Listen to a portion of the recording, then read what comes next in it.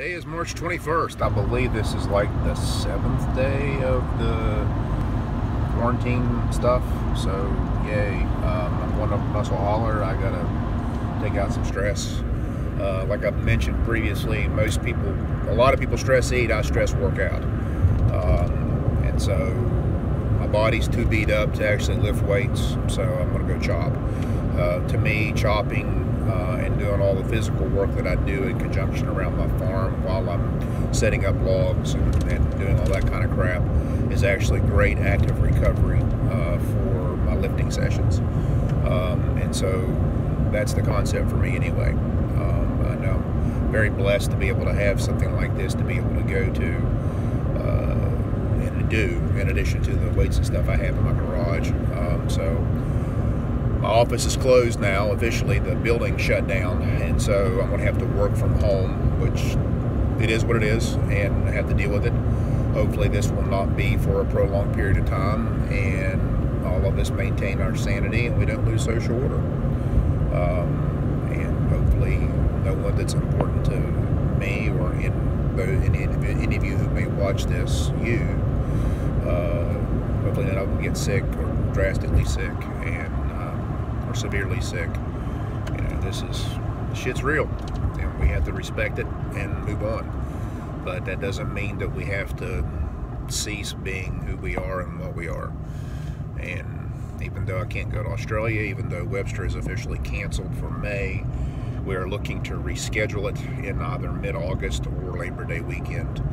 And so I'm going to meet with the board of directors or teleconference with the board of directors and see what we can do about um, setting a later date for Webster so that we don't lose the event. We've already gotten in half of our sponsorship money and the other half are holding out because they don't know if it's actually going to take place and we want to run it because it's we've already paid our insurance premium for the year which is 10 grand i mean for a three-day event we paid $10000 in, in uh, for our cgl policy so we have to we'll lose that basically if we don't host, have the actual festival. Um, but there's a bunch, bunch, of other expenses that we've already gone to. Uh, we purchased the wood for the chopping events, and um, I have already got the sawing wood on the ground. Then I just got to wrestle it out and bring it up to we can turn it on the lathe. So there's been a substantial investment, and we're looking to try and maintain the happiness for the sponsor, the community, and everyone, and be in compliance with what is in the best interest of everyone involved. Uh, so right now, it's about sanity, and uh, I'm going to work on master my week events, which include the springboard and the stock saw. But that doesn't mean I'm not going to chop because I love chopping, and right now I don't have a hot saw to run, so um, it's uh, getting worked on and assembled. So uh, hopefully by the time we actually have an event, I'll have a hot saw and uh, I can train with it too. But that's that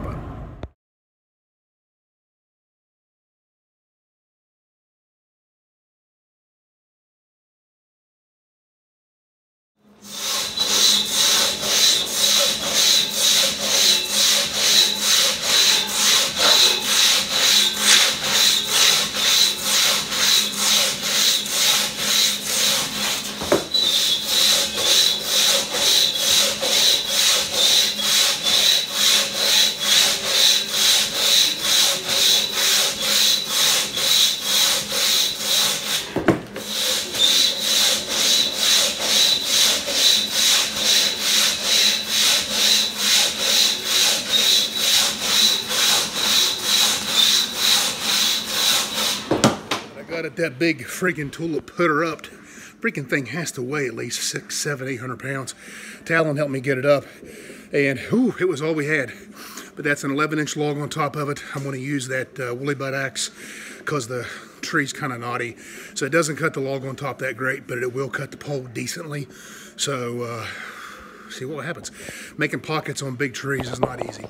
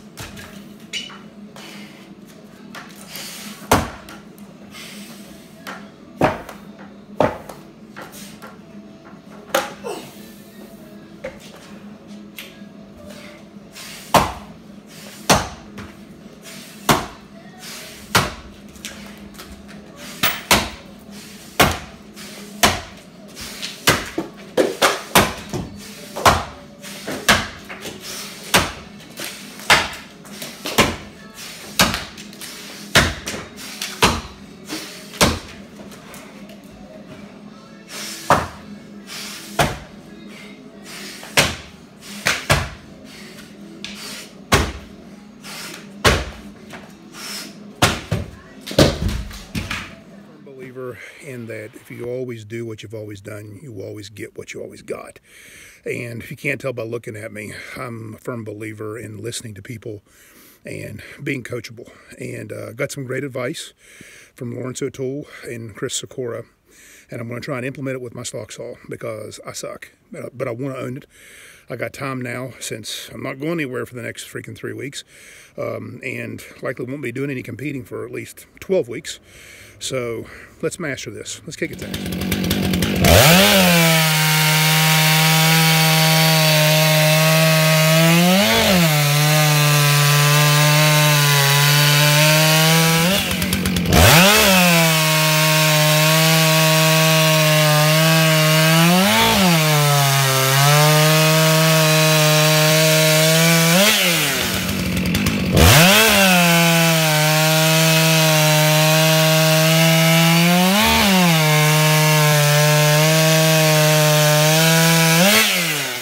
39 inch tulip poplar and I'm using one of my friggin' hardwood trainers so I don't have high expectations but I think it's pretty decent wood. Uh, tulip poplar cuts about like woolly butt.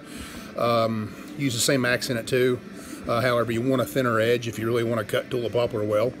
Um, and so this will be, I don't know, if I can cut this under 26 hits, I think that's doing pretty well with this axe.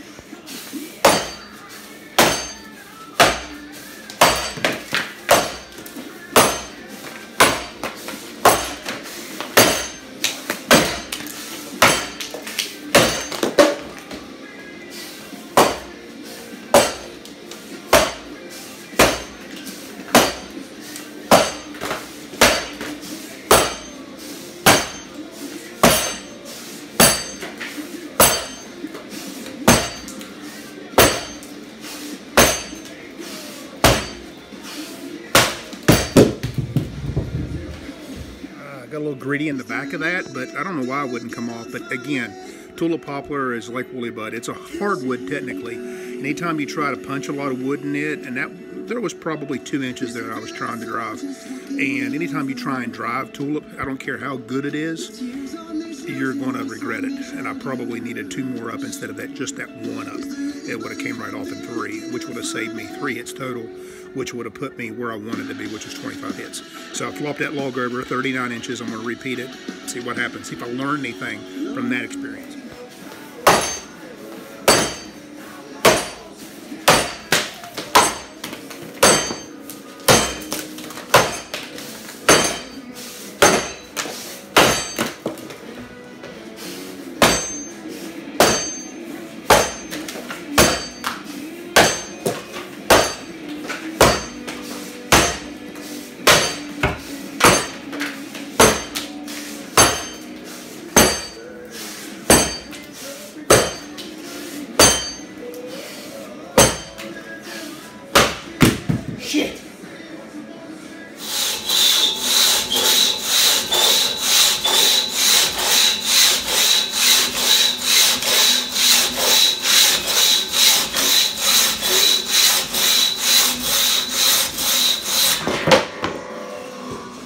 State of Pennsylvania has entered a state of emergency and has eliminated all non-essential travel. And even though this 13 inch tulip poplar underhand is essential to me, I don't know the next time I'll be back here. So uh, it's possible the governor of West Virginia will do the same. Um, yeah, this sucks, but uh, I'm going to use my my decent woolly butt axe on this 13 inch tulip poplar. This thing's 41 inches. It's a full 13. So uh, given that it was taking me 28 and 29 hits to cut that 39 inch one uh, with a real hardwood axe. I would say I'll be lucky to cut this in 20, 30, 30 hits, 15 and 15 would be fair. And as long as I'm moving well, I should cut it in 25 or 26 seconds.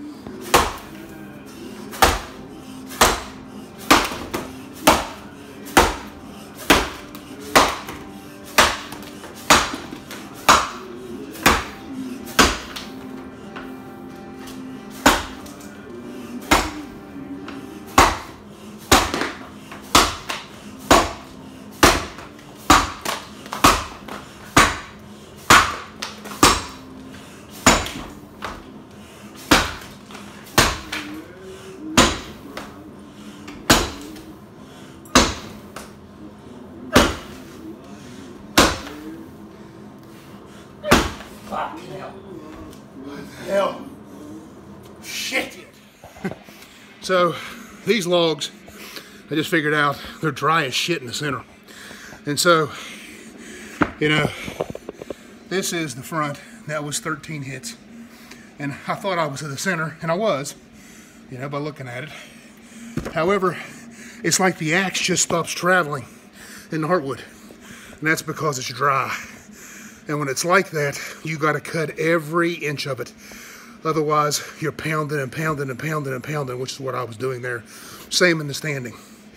So I got the other side of this 13. I'll cut it in the block, assuming I get it come out again. And uh, I will cut that motherfucker in 15 and 15.